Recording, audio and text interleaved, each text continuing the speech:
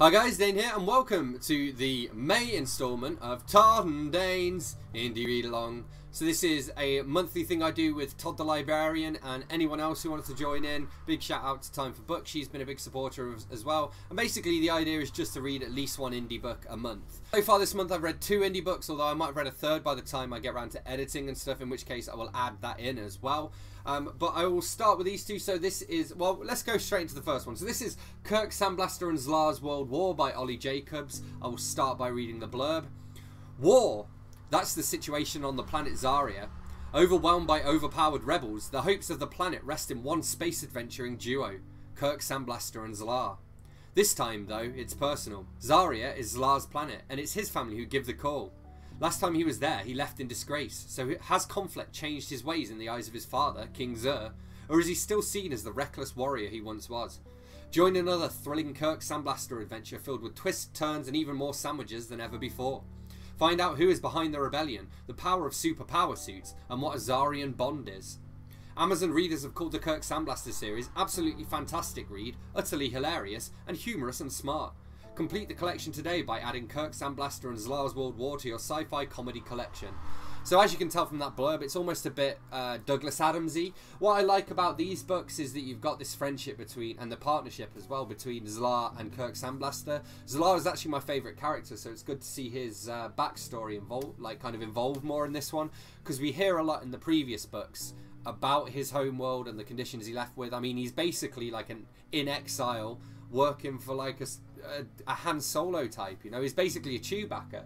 Um, he's also very serious and a fighting machine. I believe he has two heads and four fists. So anything he comes up against, he kind of he, he's going to win basically. And then Kirk Sandblast is almost like an anti-hero because he's very smug and sort of overly self-confident. He's got all that swagger that you would expect of a, a space adventurer. So yeah, it's like um, it is. It's Chewbacca. It's Chewbacca with two heads and four arms with instead of uh, Han Solo with um, uh, Zapp Brannigan or whatever his name is from Futurama. That's the dynamic there, and obviously we get to go back to his world. Uh, there's a, a, bad guy who's like been involved earlier in the series, but it doesn't necessarily. You don't have to read them all in in order to get the uh, the enjoyment out of this. And there's just a lot of laughs along the way. One thing I did think as well is that. Uh, Jacobs has got a lot better since the early books in the series because I've read maybe five or six of these now, and uh, you can see how he's got he's matured as a writer throughout and even in kind of the length of the books uh, this is like more this is a, a, novel now i guess whereas the earlier ones felt more like novellas. The layout's better as well. There are like definitely far fewer typos and spelling mistakes. I think i maybe noticed one or two. And uh, the cover design's great as well. I believe it's done by elaine m. Will who does graphic novels as well and i've actually reviewed one or two of those on the channel and uh, talked about them. And I was just glad to get my hands on this as well because this has been out on Kindle for a while. It actually came out on Kindle just as I finished reading the other Kirk Sandblaster books, but it wasn't out in paperback, so I had to wait to get my hands on it. But I'm glad I did, and I gave it a pretty solid 4 out of 5. I would say, even if you're new to the Kirk Sandblaster books, it's a pretty good one to go into, and you're going to get a lot of kind of comedy and humorous one liners, but also a decent amount of action in this as well. And character too, so really, it's win win, you know? Cheers, Todd. Okay, and then next up we have Every Part of the Animal. There is no limit to what a mother will do to protect her child by Duncan Ralston. So, Duncan Ralston used to be published by uh, Forsaken, which was the horror imprint of Booktrope. They also published my first book, No Rest for the Wicked, and so that's kind of how I came across his work. And I haven't really kept up with like a lot of the other writers from those days, but Ralston's stuff is great, and uh, I actually, you know, I've been binging through a lot of it recently. So this one almost reminds me of The Method in that I know of him more as more as a uh, a horror writer, and this and the method were both much more like psychological thrillers, almost more in the vein of Gone Girl or something like that. I would recommend this to uh, Harriet Rosie if she's watching because uh, this is like set in a small town, and I know that's kind of her vibe. It's actually set in Alaska, I believe. I'll give you the blurb here. Perfectly written and put together, I defy anyone to not love this one. That's from Neve Murray, Confessions of a Reviewer. Bo Lowry and her 10 year old son have hunted the woods surrounding their Alaskan home for as long as Caleb can remember. What they don't eat themselves, they sell to local businesses, using every part of the animal. Disgusted by the wolf call, pop megastar Rainy Lane and her bodyguard Dar Darius travel to Bo's small town to join a growing group of animal activists. After Bo and Rainey clash during the protest, Rainey pulls mother and son headfirst into her manic, self absorbed world when she crashes her car on their land. Soon she finds herself their unwilling guest. But in the age of instant communications, celebrities can't just disappear without the whole world demanding them found. In a violent showdown between hunter and activist, tensions within the Lowry household are dragged into the light. Both women harbour dark secrets, but Rainy Lane will ju learn just how far a mother pushed to the edge will go to protect her child. Uh, I'll give you uh, Duncan Ralston's biography here as well. Duncan Ralston was born in Toronto and spent his teens in small town Ontario. As a grown up, Duncan lives with his girlfriend and their dog in Toronto, where he writes dark fiction about the things that disturb him. In addition to his twisted short stories found in Gristle and Bone, the anthologies Easter Eggs and Bunny Boilers, What Goes Around, Death by Chocolate, Flash Fear, and the charity anthology The Black Room Manuscript, Manuscripts Volume 1, he is the author of the novel Salvage and the novella Woom, an extreme horror black cover book from Matt Shaw Publications. He was also one third of the horror podcast Screen Kings, dedicated to dissecting Stephen King movies and miniseries. So, I've not had the best luck with uh, like sort of these kind of psychological thrillers, um, you know, real world kind of the, that mixture between crime and horror, you know, with think, people like again um, Gillian Flynn and, and that kind of stuff. But Ralston's really good at doing it, and again, he's really good at doing it here. I really liked as well this element of the the blend between this like small town, uh, like the the mother was like um, uh, Carrie's mother. It was very much like Carrie actually, between the dynamic between the mother and the son. And then you've got this pop megastar who's basically like Taylor Swift or something. And it was really interesting to see those two worlds clash, and uh, and the kid as well. Like the mum didn't know what Instagram was, and the kid was like, how do you not know who she is? I know who she is.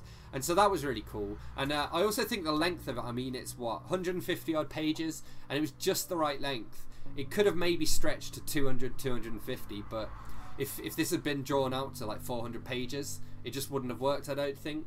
And so uh, I was really impressed by it. I gave it a pretty solid 4 out of 5 and would definitely recommend this if you're into thrillers. Uh, and it's hard to pick, actually.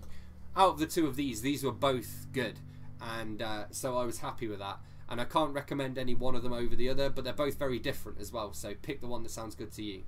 Okay, as promised, I have one last book to add to this month's indie read along.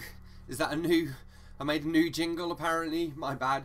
Uh, this is Whispers and Other Strange Stories by Crina-Ludmila Cristea. I'm going to read you the blurb. A profound darkness radiates from this book, yet each whisper conveys an unnatural beauty. Crina has woven a surreal think piece on the soul of horror. That was Felix Blackwell in The Devil's Dreams. And the blurb it goes Nightmares and creatures, trapped individuals, childhood ghosts, drops of rain, drops of blood, stars and snowflakes, trees and roots and birds and flames, life, death, and ultimately light. These short, dark stories will captivate the heart and imagination. Hauntings might occur. You have been warned. Then we've got front cover art by Vanessa Tavares, interior drawings by Florin Cristea and this is available in both digital and print.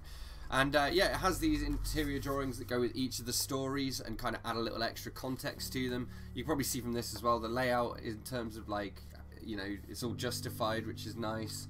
Um, it is weird actually. Some of them have like those. Oh no, you see those are different sections. So yeah, layout is all good. So there's an author's note as well, which I want to read out to you, which I think gives some nice context.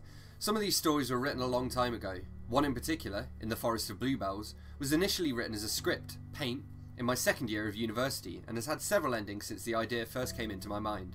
Another one was conceived in the rush of imagination and is the seed that started a dark psychological novel which is yet to be completed, Tender is the Rain. But most of the tales in this collection were written recently as an experiment while using the Reddit website and the No Sleep community. That's how the bud of this collection sprouted. The purpose of these stories was to scare the reader, you, and the basis was that they actually happened. They are true, even when they're not. They are written in the first person for this exact purpose. So you kind of need to be able to, you know, if you don't like reading books in first person, this probably isn't for you. Also, um, I don't know. I don't know whether it's because uh, Cristea. Oh, by the way, I should point out that she also goes by Lily Bloom, which is, I believe, her pen name, and she has a YouTube channel, and you can check out some trailers for her book and stuff as well. Um, but I, I think I, am not sure, but I think English isn't her natural uh, uh, first language. I think she's uh, Romanian, and there are a few just sort of sentence structures where you can kind of tell um, where it, it just doesn't read naturally, if that makes sense. But that said, it doesn't put, or it didn't put me off, and it just read as like part of her authorial voice. You know, it's almost like when you read translated fiction and th- th- there's just something of it's just missing. You know, because of how it's been translated from one language to uh, to another.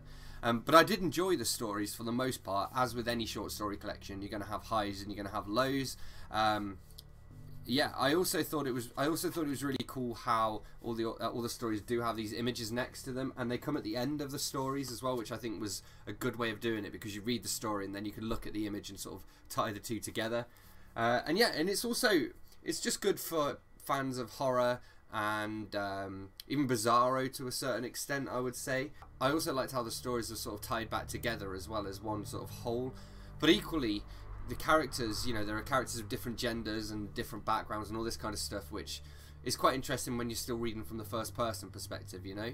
And it also make it almost makes it feel like a collection of different accounts, like found accounts. So yeah, I thought it was pretty cool. I gave it a 3.5 out of 5, and would I recommend it? Probably to horror readers, people like Mindy's Book Journey, maybe Jason's Weird Reads, I think he'd like it, maybe Madeleine Swann as well. Um, so yeah, if you are into the kind of more alternative side of horror, I guess, then uh, definitely check this out. And there we have it. That is it for this month's indie read along. I don't think I'm going to be reading any more indie books. So if I do, I'll just lump them into uh, June's video.